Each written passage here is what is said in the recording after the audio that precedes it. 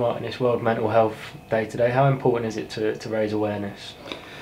Yeah, I think it's it's massively important. It's uh, something that affects an awful lot of people. Uh, it's a disease that people get stigmatised for or about and, and, uh, are worried about it. Uh, so I think it's important that uh, we all talk up, you know, about something that can affect anybody that could be a, you know a relation of yours sitting with the problem at the moment. It could be a relation of mine sitting with the problem at the moment. But I think the main thing is that, that it, it can affect anyone and it doesn't matter if you're the, the wealthiest man in the world or the poorest man in the world. It, you know it can actually affect anybody at any given time.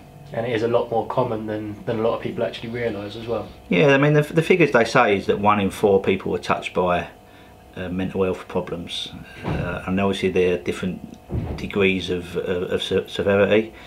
Uh, obviously I've had it quite severely myself so I'm, uh, you know I'm talking from experience here. And I, I, just think it's it's something that as I say if it's one in four people that are touched by it there's, there's you know if you, if it ain't you suffering yourself you certainly know someone that is and uh, the big problem with it is, is that people, as I say, because it's stigmatised, people uh, don't want to be judged uh, about their own personality to, to, to flag it up, I suppose. It, it, makes it difficult that people. The big thing with it is if if you go uh, if you have to if you have a problem and then you hide away from the problem, the problem gets worse. So if you've got a problem, knowing that one in four uh, uh, people suffer with it, speak up and, and there's the help out there it is something that you speak very openly about and how much more support do you think has become available over recent years? I mean, I can only speak about previous my, my experience really. I mean, I've, I've been touched with it since uh, 2009, uh, so I've had eight eight years on and off with with uh, with the problems. For me, the support was always there. I've got to be honest. Whenever when I flagged it up and, and, and admitted I had a problem, the support was fully there.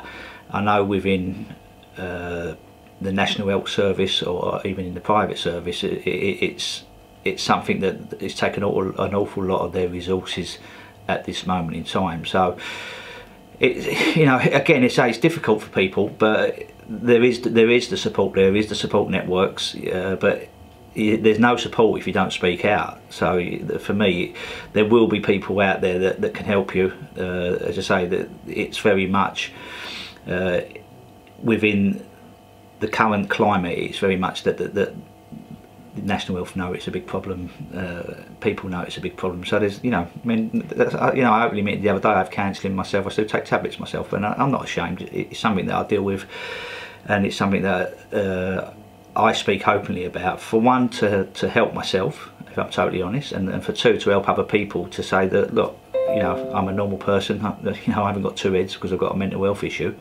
uh, and as I say, the support is there if you if you search out. The big thing for people is they don't want to speak up because they think they're going to be stigmatised, and that, I think that's an important message to put out.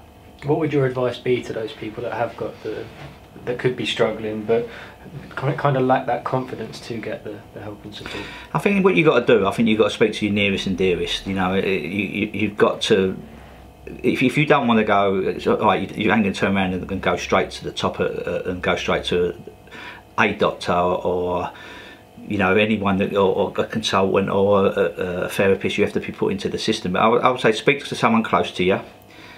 If you speak to someone close to you I can guarantee they know someone that's that's had the problem before and then, and then people can then advise you what they did with the problem. And I say from personal uh, experience I know if, once I once I spoke about it it took a lot of the power out of it. And once I spoke about it there was people there that, that knew people that had suffered and I could talk to them. And when you talk to somebody I think the only people that really understand mental health issues are people that have had it themselves. And and, and then that, it normalises it for you and, and, and, and then you can get the help that you need.